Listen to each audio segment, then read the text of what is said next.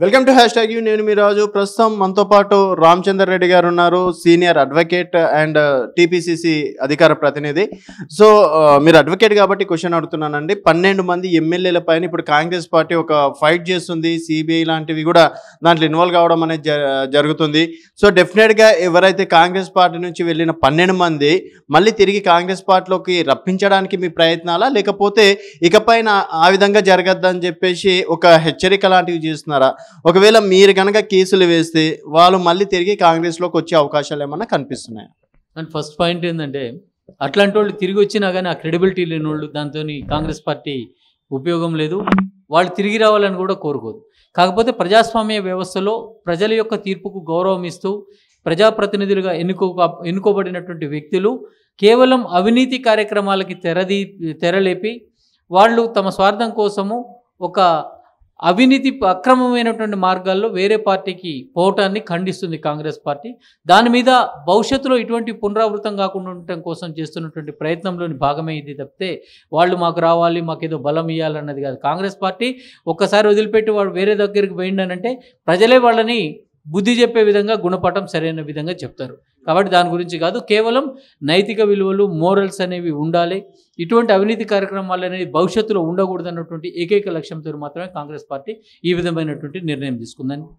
ఇది నాలుగు సంవత్సరాలుగా కాంగ్రెస్ పార్టీకి గుర్తుకు రాని అన్న పన్నెండు మంది ఎమ్మెల్యేలు ఇప్పుడే ఎందుకు గుర్తుకొచ్చినట్టు ఇప్పుడే ఎందుకు ఈ ఫైట్ చేస్తున్నట్టు?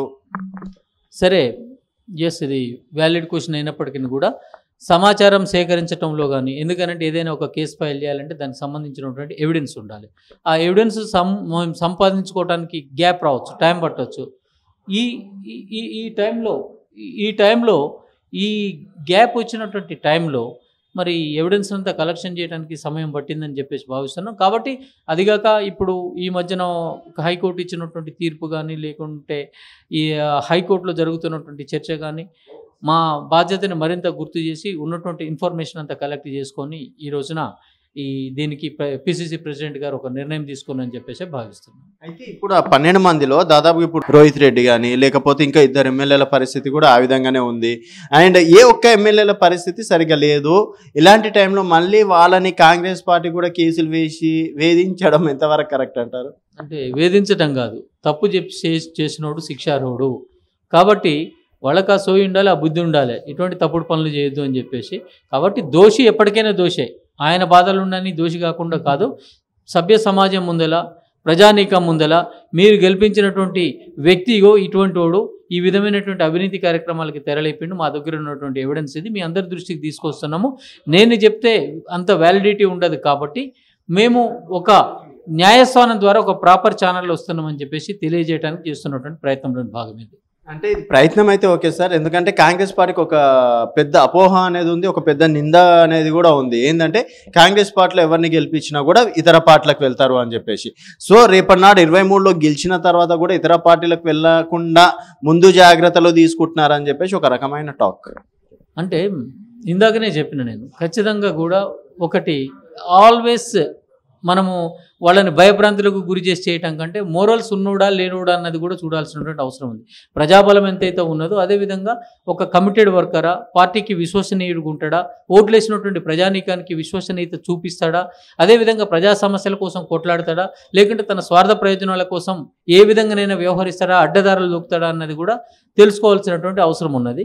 ఖచ్చితంగా ఈ రోజున మేము ఈ పన్నెండు మంది ఎమ్మెల్యేల మీద మా ప్రెసిడెంట్ గారు డిస్కస్ చేసి దాని గురించి ఒక చర్య తీసుకోవటానికి న్యాయపరమైనటువంటి చర్య తీసుకోవడానికి ఎప్పుడైతే ఉపక్రమించిండో రేపు ఇవ్వాలి కాకుంటే రేపు రేపు ఖచ్చితంగా కూడా అది కోర్టులో తేలిపోతుంది. తేలిపోయిన తర్వాత అది మిగతా ఎమ్మెల్యేలకి ఒక మిగతా ఎమ్మెల్యేలకి ఒక మార్గదర్శకం అయిపోతుంది. అదేవిధంగా ఒక భయం వాళ్ళని ఒక భయంలో పెట్టడానికి ఉపయోగపడుతుంది.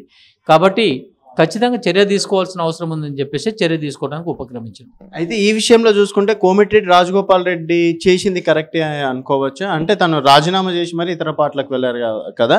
సో వింగ్ కోమిటిరెడ్డి రాజగోపాల్ రెడ్డి పైన ఇట్లాంటివి ఏం జరగదని అనుకోవచ్చు? సరే ప్రజలే మొన్న గుణపాఠం చెప్పారు మునుగోడులో. ఆయన పార్టీ బీఫామ్ టికెట్ ఇచ్చేసి బీఫామ్ ఇచ్చేసి టికెట్ ఇచ్చి ప్రజలు గెలిపేసే కాంగ్రెస్ వ్యక్తి అని చెప్పేసి రాజీనామా చేసిండు వితౌట్ వాళ్ళ కన్సల్ట్ చేయకుండా. కాబట్టి ప్రజలు సరైనటువంటి గుణపాఠం సరైన సమయంలో చెప్పారు భవిష్యత్తులో కూడా అదే విధంగా ఉంటుందని చెప్పేసి భావిస్తున్నాం. కాకపోతే ఆయన ఈ డిఫెక్షన్ కిందకి కాకుండా రిజైన్ చేయడానికి ఆయనకి ప్రజాస్వామ్యయుతంగా హక్కు ఉంది కాబట్టి రిజైన్ చేసిండు. దాని గురించి ఎక్కువ కామెంట్ చేయడానికి కూడా ఏం లేదు. కాకపోతే తన స్వార్థ ప్రయోజనాల కోసం చేసిండని మాత్రం కాంగ్రెస్ పార్టీ పక్షాన్ని మేము చెప్పగలుగుతాం. అండ్ నెక్స్ట్ ఇప్పుడు హాస్య హాత్ జోడో అభియాన్ అనేది ప్రతిష్టాత్మకంగా తీసుకుంటుంది కాంగ్రెస్ పార్టీ. మళ్ళీ కాంగ్రెస్ పార్టీకి ఒక జీవం లాంటిది ఒక సంజీవి లాంటిది ఈ కార్యక్రమం అని చెప్పేసి అంటున్నారు. సో హాస్య హాత్ జోడో యాత్ర నుంచి అయినా కాంగ్రెస్ పార్టీకి మళ్ళీ పునర్భ పునర్వైభవం వస్తుంది అనుకోవచ్చు. అంటే కాంగ్రెస్ పార్టీకి ఈ యాత్రలు చేసినంత మాత్రాన కొత్తగా వచ్చేది కాదు. కాంగ్రెస్ పార్టీ క్యాడర్ ఆల్రెడీ ప్రజల రక్తాల్లో అంటే ఇంజెక్ట్ అయి ఉన్నది ప్రతి ఒక్క వ్యక్తిలో కాంగ్రెస్ కార్యకర్త వ్యక్తులు. దాన్ని పునరుజ్జీవం చేయటం కోసము ఒక భరోసా ఇవ్వటం కోసము. రెండోది ఈ యాత్రలు అనేవి పార్టీలకు అతీతంగా భారతదేశంలో మోడీ యొక్క పరిపాలనకు వ్యతిరేకంగా నియంతృత్వ విధానాలకు వ్యతిరేకంగా అప్రజాస్వామ్య యొక్క విధానాలకు వ్యతిరేకంగా దేశ సంపద హరించుకోపోతున్నటువంటి సమయంలో వీటన్నిటిని ఈ విషయాలన్నిటిని కూడా ఒక వ్యక్తుల దగ్గరికి ప్రత్యక్షంగా సంప్రదించి అంటే మీడియా ద్వారా కాకుండా వాళ్ళతోని కష్ట నష్టాలు తెలుసుకొని అక్కడ విషయాలన్నిటిని కూడా చెప్పడానికి ఏర్పాటు చేసింది. ఈ యాత్ర. అదే క్రమంలో హాత్ సే హాత్ జోడో యాత్ర కూడా ఐ టు ఐ కాంటాక్ట్. మొన్న ప్రెసిడెంట్ గారు కూడా మీటింగ్లు చెప్పారు. అంటే మనం ప్రత్యక్షంగా ఒక వ్యక్తిని ఎదురుగ్గా ఉండి చూసి మాట్లాడినట్లయితే ఆ ఇంపాక్ట్ వేరుంటుంది కాబట్టి మనం ప్రజలు మన దగ్గరికి రావటం కాదు మనం కూడా ప్రజల దగ్గరికి పోవాలన్నటువంటి మంచి ఉద్దేశంతో తలపెట్టినటువంటి యాత్ర ఇది. ఖచ్చితంగా కూడా కాంగ్రెస్ శ్రేణుల్లో కొత్త ఉత్సాహాన్ని తీసుకొస్తుంది. కాంగ్రెస్ శ్రేణులను కూడా మంచి యాక్టివేట్ అయిపోతాయి. మళ్ళీ కూడా ఈ ప్రజాస్వామిక విధానాల గురించి మనం కూడా పోరాటం చేయాలని చెప్పేసి ఒక ఉత్సాహంతో ఈ నియంతృత్వ విధానాల మీద ప్రజాస్వామిక విధానాల మీద ప్రజలు కార్యకర్తలందరూ కూడా తిరగబడేలా ఈ యాత్ర ఉపకరిస్తుందని చెప్పేసి భావిస్తున్నాం. దానికి మన అంటే హాస్య హాత్ జోడో యాత్ర కన్నా హాస్య హాత్ కాంగ్రెస్ జోడో సీనియర్లు కమ్ జూనియర్లు అంటే బాగుంటుందేమో. ఆ మొదటగా కార్యక్రమం చేపడితే కాంగ్రెస్ పార్టీకి డెఫినెట్గా ఇలాంటి కార్యక్రమాలు చేసినా చేయకపోయినా కాంగ్రెస్ పార్టీ హై రేంజ్లో ఉంటుంది అని చెప్పేసి కొంతమంది ప్రజల నమ్మకం. సరే ఎవరి నమ్మకం వాళ్ళకు ఉంటుంది ఎవరి భావన వాళ్ళకు ఉంటుంది దాన్ని మేము అడ్డు చెప్పలేం. వాళ్ళు వాళ్ళకి ఇష్టం వచ్చిన విధంగా వాళ్ళు ఆలోచించవచ్చు. కాకపోతే ఒకటి గుర్తుపెట్టుకోవాలి. మిగతా పార్టీలు లెక్క కాంగ్రెస్ పార్టీలో దురదృష్టవశాత్తు అదృష్టవశాత్తు నియంతృత్వ ధోరణులు లేవు. అది మీరు తెలుసుకోవాలి దురదృష్టమో అయితే. అప్రజాస్వా అప్రజాస్వామిక విధానాలు లేవు. కొంచెం ఎక్కువ ప్రజాస్వామ్యం ఉన్నమాట వాస్తవం ఇదే గంగ మనం ఈరోజు కూర్చున్నటువంటి గాంధీ భవన్ని ఒక సందర్భంలో తగలబెట్టినటువంటి సందర్భం ఉంది. మా నాయకులే మా కార్యకర్తలే. ఆయనంత మాత్రాన కాంగ్రెస్ పార్టీ తుడిచిపెట్టుకుపోలే. వాళ్ళకి అభిప్రాయ భేదాలు కానీ లేకుంటే వాళ్ళ ఫ్రస్ట్రేషన్ కానీ ఇక్కడ తీర్చుకున్నారు. కానీ తర్వాత రెండు సందర్భాల్లో కూడా కాంగ్రెస్ పార్టీ ఇక్కడ దిగ్విజయంగా కూడా పరిపాలన చేసినటువంటి సందర్భం ఉంది. అంటే హాత్ హాత్ జోడో కాదు. ఆటోమేటిక్గా ఇది ఎట్లనంటే అప్పటికప్పుడు ఒక ఇష్యూ మీద విభేదించినప్పటికీ కూడా ఆటోమేటిక్గా మళ్ళీ దగ్గర అయిపోయి కలుసుకొని మళ్ళీ బాయ్ బాయ్ అనుకుంటాం. నడిచే పార్టీ ఇది. ప్రజాస్వామ్యం ఎక్కువగా ఏ పార్టీలు అయితే ఉన్నదో అక్కడ మాత్రమే ఇటువంటి చర్చకి దారి తీస్- దారి అవకాశం ఉంటుంది.